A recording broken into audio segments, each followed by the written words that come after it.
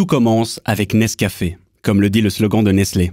Alors ce matin, pour bien commencer la journée, on a pris notre café justement et on s'est dit qu'on allait tirer le bilan de près de 15 ans de promesses faites aux caféiculteurs et caféicultrices. Vous vous en doutez, le résultat est corsé et amer en bouche. Mon œil, le podcast engagé de Public Eye. Je m'appelle Damien Vega et aujourd'hui on se plonge dans l'univers du café.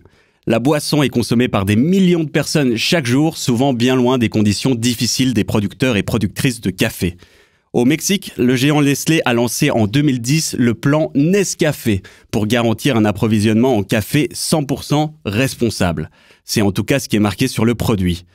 Vraiment, Publica a décidé d'aller au-delà du coup de com et j'en parle aujourd'hui avec Géraldine Viret. Bonjour. Salut Damien.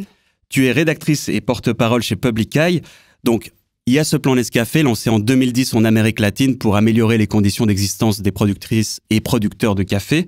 C'est quoi cette initiative? En fait, c'est un programme qui a été lancé, tu l'as dit, en 2010 pour quelque part rassurer les consommateurs et consommatrices quant à la durabilité euh, du Nescafé. Il a été lancé dans un contexte assez particulier parce qu'au début des années 2000, il y a eu un effondrement des cours du café sur les marchés mondiaux, puis ça a vraiment mis en lumière en fait la vulnérabilité, euh, les conditions d'existence très problématiques des producteurs. Donc attention médiatique, euh, il faut des réactions pour rassurer les consommateurs. Mhm. Ce programme, il a pour idée centrale, Nestlé dit, on va maintenant créer de la valeur ajoutée sur l'ensemble de la chaîne. Donc les consommateurs et consommatrices vont en profiter avec du bon produit euh, durable. Les producteurs auront euh, des revenus supplémentaires et puis Nestlé elle-même va en profiter. Ça, mhm. c'est l'idée de fond. Nestlé assure en fait qu'avec ce programme, il aurait permis d'augmenter euh, de manière importante les revenus dans différents pays, le Brésil, le Mexique, l'Indonésie, le Vietnam et d'autres, grâce à des investissements substantiels Nestlé a investi environ 350 euh, millions de francs suisses entre 2010 et 2022 pour le plan Nescafé. Dans les faits, euh, c'est surtout un programme qui a permis à Nescafé de garantir son approvisionnement euh, en café robusta de masse à des prix très bas pour soutenir en fait sa conquête du monde avec le Nescafé parce que Contrairement à ce qu'on peut penser, le, café, c'est encore un secteur qui est en forte croissance, mhm. environ 2% par année. Alors plus tellement dans ces marchés traditionnels que sont l'Europe, l'Amérique du Nord, mais beaucoup dans des pays émergents, euh, la Chine, etc., où en fait la consommation de café augmente et surtout la consommation de café en poudre Nescafé. Ok, un marché en pleine croissance. Nestlé nous dit que c'est win-win a priori. C'est quoi les ingrédients du plan Nescafé? Il y a différentes choses. Déjà, ils ont euh, dispensé des formations aux agriculteurs. Alors des formations en gestion d'entreprise, des formations pour euh, essayer de réduire la consommation d'eau, de pesticides, quelque chose qui sonne assez bien sur le papier. Euh, les agriculteurs ont reçu la visite d'agronomes, de vevets, etc. Ensuite, et c'est un point central, la distribution de plants ultra sélectionnés de Robusta, c'est une autre variété de café qui serait censé être plus productif pour augmenter les rendements et donc les revenus. Et puis, euh, ces promesses de durabilité, elles se basent sur une certification, on en parlera certainement plus tard, mais 4C pour garantir justement cette durabilité sociale et environnementale. Mais surtout, le programme Nescafé, c'est une vaste opération euh, de communication orchestrée par Nestlé, avec au centre les visages des hommes et des femmes qui participent à ce projet. Le pays euh, de lancement, le pays phare, c'était le Mexique. Ils ont imprimé euh, des étiquettes Nescafé avec les visages tout sourire des agriculteurs et agricultrices. Ils ont imprimé de jolies brochures.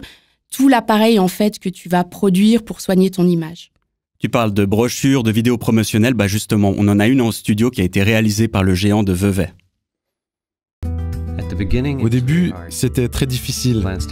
Les plantes ne poussaient pas et il y avait la sécheresse. Je pensais que je n'y arriverais pas. Jusqu'au plan Nescafé. C'est la meilleure décision que j'ai pu prendre dans ma vie.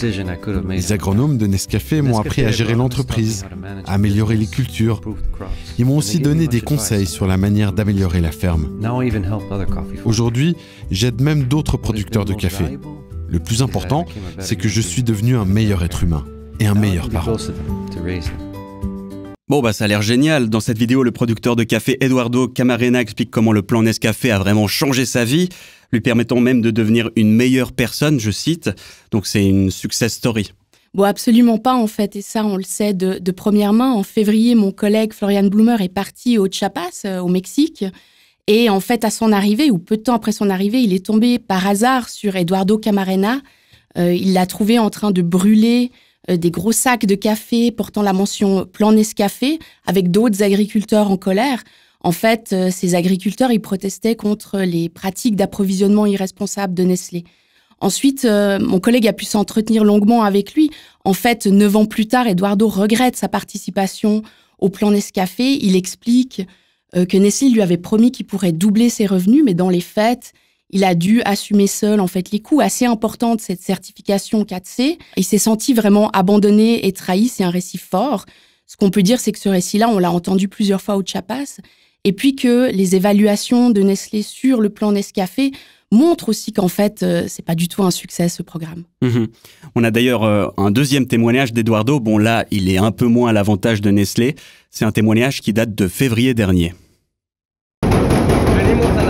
Nous demandons à des entreprises comme Nestlé Mexico d'augmenter nos prix. Mais elles ne savent pas comment s'y prendre.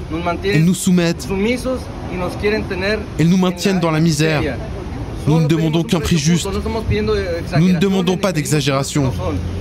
Nos familles dépendent d'elles et ce n'est pas juste de nous traiter comme ça. Nous en avons assez et ce n'est pas seulement moi. Ce sont les communautés qui sont prêtes à prendre les routes ou à faire quelque chose pour remédier à cette situation. Nous n'en pouvons plus. Je vous remercie. Au Chiapas, donc, les gens sont en colère contre Nestlé. C'est quoi euh, les raisons de cette colère? Bon, déjà, on voit que cette colère, elle est forte. Hein. On supporte plus. Ils sont prêts à prendre les routes, comme ils disent, à bloquer les choses. Il y a vraiment un ras-le-bol qui date d'un moment déjà et qui s'est construit au Chiapas le point central, en fait, c'est cette question du prix, parce que les prix qui sont payés par Nestlé permettent très souvent même pas de couvrir les coûts de production. En fait, euh, au début de la saison euh, de récolte, en septembre, euh, très souvent, Nestlé fixe un prix plancher qui est vraiment très très bas, en dessous des coûts de production. Et puis ensuite, ils vont légèrement augmenter ce prix au fil du temps, mais jamais de manière suffisante. Et puis les agriculteurs et agricultrices qui en ont les moyens, ils stockent ce café. Euh, ils essaient de résister le plus longtemps possible jusqu'à ce que le prix soit à un niveau acceptable. Mais ce qu'on constate et ce qu'on nous raconte, c'est qu'il y a très peu d'agriculteurs et agricultrices qui ont les moyens de faire ça. Parce qu'en en fait, ils doivent gagner vraiment l'argent dans cette période restreinte. Ils se sont souvent endettés et puis surtout, ils doivent financer euh, le reste de la récolte. Les cerises de café séchées, elles se détériorent extrêmement vite. Donc en fait, ils sont vraiment sous pression de vendre. Et ce qui se passe bien souvent, c'est qu'ils vendent à des prix qui sont euh, dérisoires. Et ça ressemble à quoi de bosser dans cette région? Ce qu'on voit dans la région, en fait, c'est que les familles agricoles, euh, elles souffrent de pauvreté. Comme je le disais, elles doivent gagner les revenus annuels sur une période assez courte. Euh, novembre à février, c'est la haute saison de récolte. Mais bien souvent, en fait, ces familles-là, en été, elles ont déjà plus de quoi se nourrir lourdement endettés, dans un cercle vicieux vraiment euh, de la pauvreté. Cette mhm. précarité, en fait, elle est encore plus visible et plus manifeste euh, quand on regarde la situation des ouvriers ouvrières agricoles qui font la récolte, principalement à la main. En fait, comme les exploitants reçoivent des prix misérables pour leur café, ils n'ont pas les moyens de les payer correctement. Et souvent, ce sont des personnes qui viennent du Guatemala, qui viennent pour la saison de récolte pour faire ce travail extrêmement pénible. Ce qu'on voit, c'est qu'en fait, ces gens-là, ils font plus le déplacement parce que les conditions sont trop difficiles de travail, de vie, les salaires sont trop faibles. Euh, donc, il y a aussi ce problème maintenant assez manifeste au Mexique et dans d'autres pays, euh, problème de, pénurie de main-d'œuvre. L'autre chose euh, qui est assez importante, c'est qu'on voit que ce terrain-là, avec des conditions déplorables, c'est vraiment un terrain fertile pour le recours au travail des enfants, qui a été documenté dans la région. Des gens disent, on avait moins ces problèmes-là et maintenant c'est c'est en train de revenir. Moi, un point qui m'a beaucoup touché, en fait, je trouve, c'est si on repense à la première vidéo d'Eduardo, il parle de euh, voilà pouvoir honorer sa promesse euh, faite à son grand-père de continuer en fait l'exploitation familiale. Le café dans ces régions, c'est vraiment une, tradition. Et ce qu'on a vu sur place, c'est qu'en fait les jeunes, ils désertent le pays, ils désertent le café parce que dans ces conditions-là, il y a vraiment plus aucune perspective d'avenir. Et il y a même des parents qui disent, moi, j'ai pas envie d'abandonner ma ferme, mais si je la garde, si je continue le café à ce prix-là, en fait, je vais faire une génération perdue de mes enfants. Et ça, c'est extrêmement fort, surtout quand on met en balance euh, les bénéfices de Nestlé. Sur le café, euh, en général, Nestlé fait une marge de 20%. c'est extrêmement profitable. Ok, des travailleurs migrants qui viennent du Guatemala, du travail des enfants, des jeunes globalement qui désertent. Euh, la grosse question, bien sûr, c'est celle du prix que tu évoquais tout à l'heure. Nestlé affirme qu'elle se base sur les marchés internationaux pour fixer le prix du café. Euh, c'est crédible ça comme justification? Alors c'est clair que le cours du café euh, en bourse, c'est un, facteur qui, oriente le prix du café. Mais dans les faits, euh, c'est surtout une fausse excuse de Nestlé. Si on regarde la situation au Chiapas, on se rend compte que Nestlé a un quasi-monopole sur les, les achats de café dans cette région. Et sur place, que ce soit les agriculteurs, agricultrices, mais aussi les sociétés intermédiaires, parce qu'en fait, Nestlé, contrairement à ce qu'elle dit, n'achète jamais vraiment ou très peu le café aux coopératives, aux agriculteurs. Elle passe par des, sociétés intermédiaires ou des négociants. Même ces maillons-là de la chaîne, en fait, nous disent euh, mais c'est Nestlé qui fixe les règles du jeu en matière de prix et de manière générale. Mhm. Donc, elle aurait vraiment, en fait, euh, la possibilité, une main mise sur la détermination des prix. L'autre chose, et ça c'est manifeste en fait en février quand mon collègue était sur place au Chiapas, les cours du Robusta à la bourse, ils étaient très élevés. Et maintenant aussi, ils le sont très élevés. Mais ce qu'on voit, c'est que le prix qui a été effectivement payé par Nestlé pour le Robusta euh, était pas supérieur au prix l'année précédente quand les cours étaient plus faibles. Et si on tient compte du renchérissement, ils étaient même plus bas. Donc on voit bien qu'en fait, c'est une excuse qui fonctionne qu'à sens unique. On va s'en servir pour justifier des prix bas, mais lorsque ce serait profitable aux agricultrices, agriculteurs, on va pas, on va pas le faire. Et ça, c'est vraiment un problème. Et en fait, ça concerne pas que le Mexique, pas que le Chiapas. Si on regarde globalement, Nestlé a la main mise sur le café dans beaucoup de pays. Euh, et la situation est problématique ailleurs aussi. Donc au Vietnam, en Colombie, il y a aussi eu euh, des manifestations, alors pas dirigées directement contre Nestlé sur ces questions du prix. Et moi, je pense que c'est vraiment essentiel, en fait, de faire entendre la voix de ces personnes euh, en Suisse parce que ben, déjà la Suisse, c'est la patrie de Nestlé, un hein, numéro un mondial du café torréfié. Et puis c'est aussi une terre d'accueil ou une grande place de négoce mondial du café vert. Donc il y a un grain de café sur deux qui est négocié, qui est vendu dans le monde, qui passe par la Suisse, alors pas physiquement. Mmh. Donc on a vraiment ici aussi un, levier et puis une force de frappe en fait pour changer les choses qui seraient importantes. Mmh. Donc on sent bien ici la mainmise de Nestlé dans ces régions euh, productrices de café. Euh, en termes de durabilité, Nestlé avance souvent le label euh, de certification 4C. C'est quoi exactement et est-ce que c'est sérieux? Alors le 4C, c'est une certification qui a été mise en place euh, dans les années 2000, début des années 2000. L'idée, c'était de répondre aussi un petit peu justement aux critiques sur les conditions d'existence des producteurs et productrices, mais de se dire on va faire une norme minimale, donc qui a été co-développée par Nestlé. C'est très proche de l'industrie, avec le gouvernement allemand aussi. Euh, on s'est dit on va faire une norme minimale pour garantir la durabilité sociale et environnementale. En fait, elle était amenée à évoluer ou à être remplacée par des certifications plus solides, mais c'est pas du tout le cas. En fait, maintenant, une part substantielle du café qui est vendu comme le Nescafé, comme durable, c'est une certification 4C. Euh, mais dans les faits, il y a d'énormes problèmes et surtout d'énormes lacunes. Euh, les exigences 4C vont rarement ou quasi pas au-delà euh, des exigences légales dans les pays. Euh, par exemple, il n'y a aucune nécessité, aucune obligation de payer un prix euh, minimum garanti aux agriculteurs.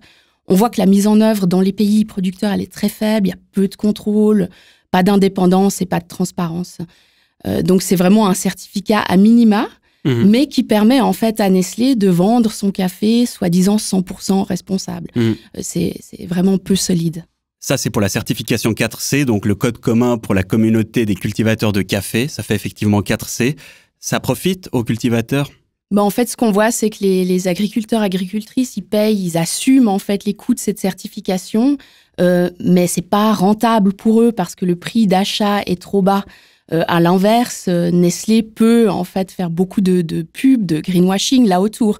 Donc c'est surtout profitable pour l'entreprise. Mmh. Et puis je crois que l'ironie de cette histoire, c'est qu'en fait, il y a pas mal d'agriculteurs, euh, de cultivateurs au, au Chiapas qui finalement préfèrent vendre leur café à des coyotes, sont des intermédiaires locaux, plutôt qu'à des entreprises qui fournissent ensuite Nestlé, en abandonnant quelque part cette certification et ces exigences parce qu'elles sont trop coûteuses vu les prix d'achat. Mais au final, ce qu'on nous dit sur place, c'est que l'intégralité quasiment du café de cette région euh, particulière finit chez Nestlé.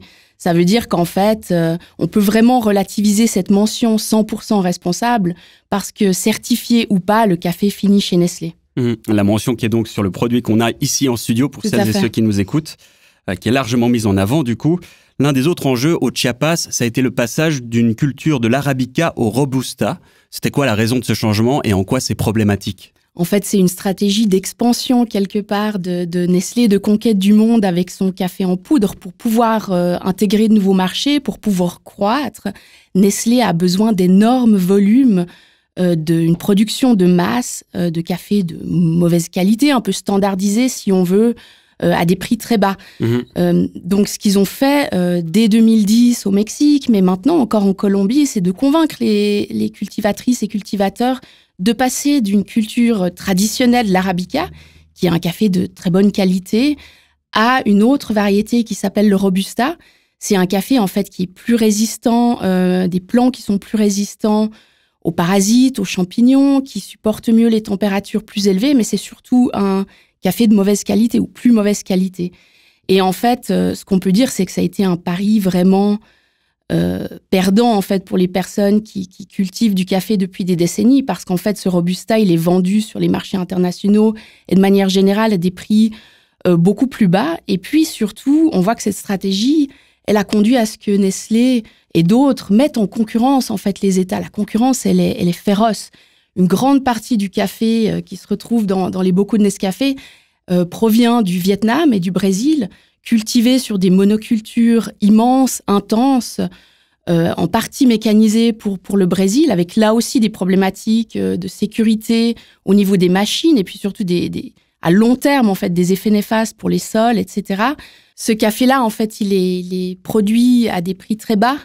Euh, dans des pays comme le Brésil et le Vietnam. Et ensuite, une, part substantielle, elle est importée en fait au Mexique pour être transformée dans des usines. Et là aussi, il y a de la contestation parce qu'on voit que les agriculteurs, agricultrices mexicaines ne veulent pas de ces usines de transformation euh, avec du café bon marché de pays autres. Tandis que eux, ils ont touché des prix dérisoires pour leur café. Donc vraiment au niveau international, on voit cette concurrence féroce mmh entre les États avec des entreprises comme Nestlé qui ont un objectif, c'est de faire baisser les prix euh, toujours plus bas. Donc ce passage à la culture du Robusta, ça a favorisé cette concurrence internationale entre les, cultivateurs et cultivatrices du monde. Euh, en termes de dérèglement climatique aussi, est-ce que les cultures de café euh, risquent de devenir de plus en plus menacées? Bon, On voit que le secteur du café, il est menacé par les dérèglements climatiques. Il y a des estimations qui disent que d'ici 2050, en fait, la moitié des terres qui sont aujourd'hui utilisées euh, pour la culture du café seront inutilisables. Euh, c'est des chiffres qui sont alarmants. Ce qu'on voit euh, déjà aujourd'hui, c'est que ce sont les, agriculteurs et agricultrices qui portent déjà, qui font déjà les frais en fait des dérèglements climatiques, avec des épisodes extrêmes, des phénomènes extrêmes, avec voilà des variations de température, de pluie, qui ont des conséquences pour les récoltes. Et ce coût-là, c'est eux qui le portent. Et c'est vrai que dans le plan Nescafé 2030, Nestlé communique beaucoup autour de ces aspects-là, euh, comme euh, au sein de la société en général, en mettant ce, ce concept quelque part euh, d'agriculture régénératrice en avant, en mhm. disant ne vous inquiétez pas, on va vous aider en fait à faire face à ces défis. Et quand on voit avec le recul ce qui s'est passé avec ce plan Nescafé ces dernières années, on peut vraiment en douter. Est-ce que ces mouvements de protestation qu'on a vus au Mexique, tu évoquais également le Vietnam, le Brésil, tout ça, c'est emblématique et systémique au secteur du café? Alors complètement. Hein. Euh, au secteur du café et puis d'autres matières premières, par exemple le cacao, on est dans des dynamiques qui sont un peu similaires, avec d'un côté une poignée de grandes multinationales qui font un peu la pluie et le beau temps, qui imposent leurs conditions sur les marchés et auprès des agriculteurs, et puis de l'autre côté, en fait, euh, quelques 12,5 millions de personnes euh, en Amérique latine, en Asie, en Afrique, qui cultivent du café et qui vivent dans la pauvreté. En fait, on estime que près de la moitié de ces gens, hein, plus de 5,5 millions de personnes, vivent aujourd'hui euh, de la culture du café, mais en dessous du seuil international de pauvreté. Donc c'est vraiment un, secteur très précaire. Ce qu'on voit aussi, c'est que la part de la valeur ajoutée, et là on revient au concept de création de valeur partagée qui est à la base de ce plan Nescafé, cette promesse initiale qui a été trahie. En fait, ce qu'on voit, c'est que ces 20 dernières années, la part de la valeur ajoutée qui revient aux personnes qui cultivent le café, elle n'a pas arrêté de s'effondrer. Mhm. De l'autre côté, euh, les bénéfices euh, continuent à croître. Aujourd'hui, le café, en fait, ça représente un quart du chiffre d'affaires total de Nestlé. C'est vraiment un secteur euh, croissant et très rentable. c'est énorme, surtout au vu de la taille de la multinationale. C'est énorme. Et Nestlé elle-même dit euh, qu'elle voudrait utiliser son envergure internationale pour agir positivement. Elle dit ça sur son site internet, tasse après tasse. Voilà, Nestlé se lance dans la poésie. Mhm. Mais en fait, elle pourrait tout à fait commencer par payer un prix euh, juste aux agriculteurs et agricultrices. Un prix juste, ce serait un prix qui permet en fait de garantir un revenu vital. Le revenu vital, c'est un droit humain. Mm. Ce qu'on a vu pour revenir au Chiapas, c'est que quand les agricultrices et agriculteurs ont écrit à Nestlé dans une lettre ouverte publique en disant nous on aimerait un prix juste, mais bon, ils sont bien conscients en fait du manque de, pouvoir qu'ils ont sur, ces, sur cette chaîne.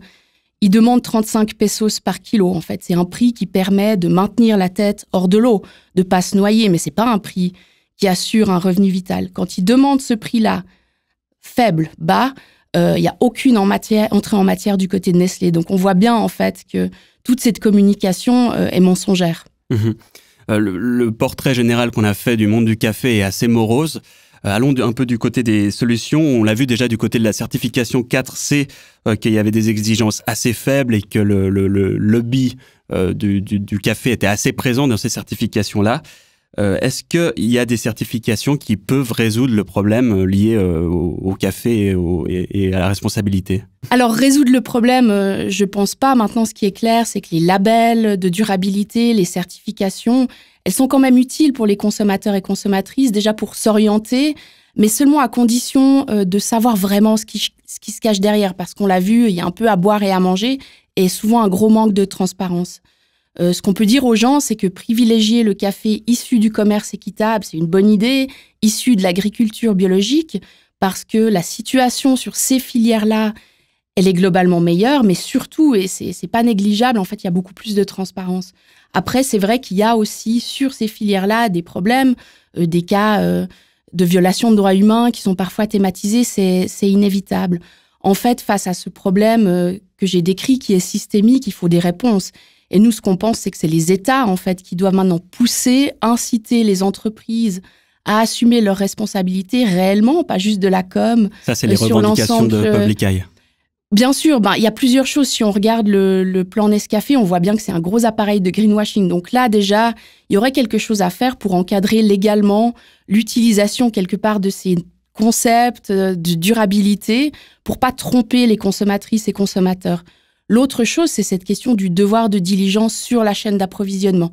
Parce qu'en fait, euh, là, il y a une grosse lacune en Suisse qui a été comblée au niveau de l'Union européenne. Maintenant, l'Union européenne vient euh, d'adopter une directive sur le devoir de diligence des entreprises qui oblige vraiment à faire une analyse de la chaîne d'approvisionnement et ses problèmes pour garantir le respect des droits humains et de l'environnement. C'est une directive qui est solide avec des mécanismes de sanctions euh, solides Nestlé, dans une certaine mesure, va être soumise à cette euh, directive européenne parce qu'elle a un chiffre d'affaires très important au sein de mhm. l'Union européenne.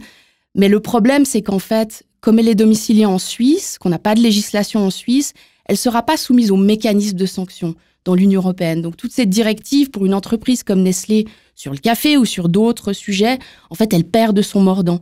Et nous, ce qu'on aimerait aujourd'hui, c'est que la Suisse remette euh, enfin, se remettre au travail parce que pendant la campagne autour de l'initiative pour des multinationales responsables, la conseillère fédérale Karine Keller-Souter l'a dit à plusieurs reprises, si l'Union européenne bouge, on bougera. C'était sa grande promesse quelque part pour imposer un contre-projet assez inutile.